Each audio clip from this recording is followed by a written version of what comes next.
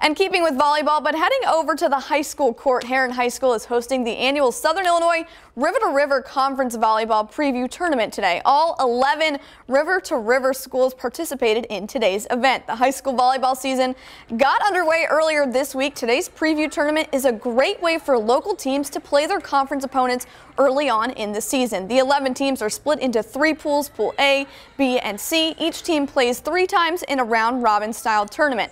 After pool play is is finished, the top three teams move into a winner's bracket. Coaches spoke about how participating in this tournament benefits their teams throughout the season.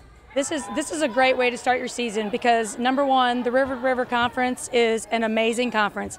Every team in it is tough, and every match you play, you've got to bring it every game. So this lets us see kind of where we are now and where we need to be by the end of the season. It's an, honestly incredible to host it as a home team. Um, great experience for the kids, all levels, every team around. Um, this has been going on for a long time. We love to be able to see the teams that we're going to play all year, see what they have, see the potential, see the growth we want to know what's coming. The preview tournament wraps up with a championship game later this evening.